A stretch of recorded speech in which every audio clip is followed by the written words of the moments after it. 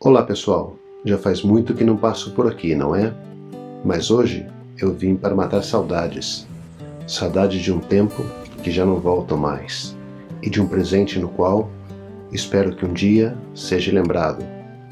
Hoje quero falar do filtro de barro, do coador de pano, do pãozinho de queijo e da rede sempre na varanda. Mas não quero falar só das minhas lembranças, porque elas são tuas também.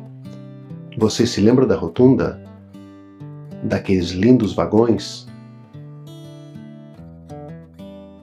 E da estação, que parece estar abandonada,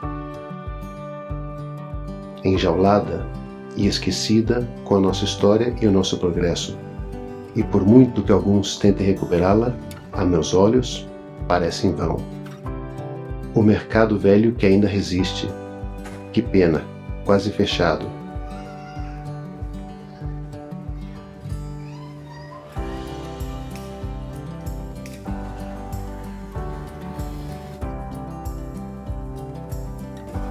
Temos feira de domingo,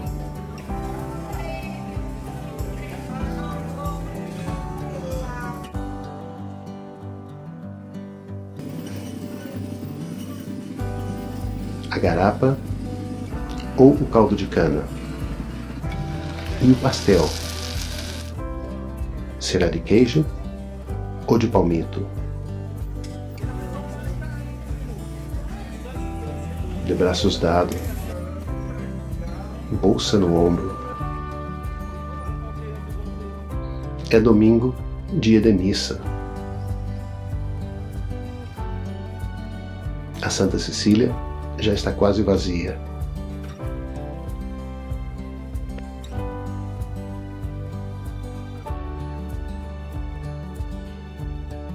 E na praça do centro estudavam os meninos.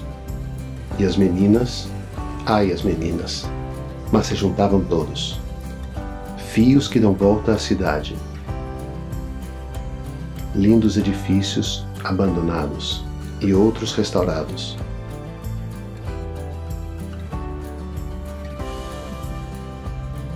Onde aprendi a nadar e fazer travessuras. E daqui avistamos as torres da matriz com seu relógio.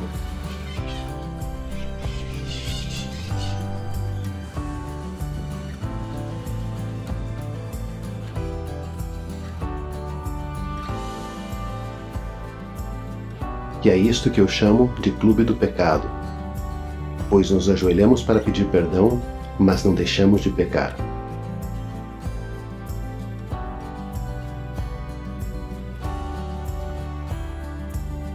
Também temos a Praça da Sete, a fonte do centro e o carrinho de pipoca, com queijo, claro. Árvores históricas que nos dão sombra, janelas com vistas eletrizantes e cachorros que buscam as sombras.